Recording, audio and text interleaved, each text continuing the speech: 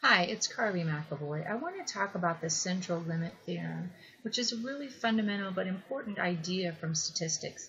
And what the central limit theorem says is that for all samples of the same size n, with n greater than 30, the sampling distribution of the mean of the sample can be approximated by a normal distribution with mean mu and the standard deviation, instead of using the standard deviation from the population, we take that standard deviation of the population and we divide by the square root of n, n being the number of elements in our sample size.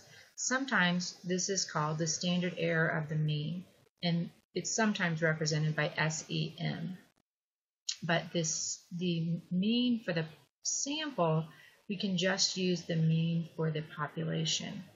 So we already know that if we draw a sample from a population that is normally distributed, that the samples will tend to be normally distributed too. But the central limit theorem gives us a new option. That new option is to use a large sample.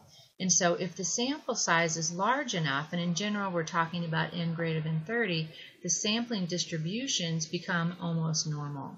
And so here's a picture of um, how we take a population that may not be normal but if we use it, uh, have an n that's large enough, we can start to see a normal distribution.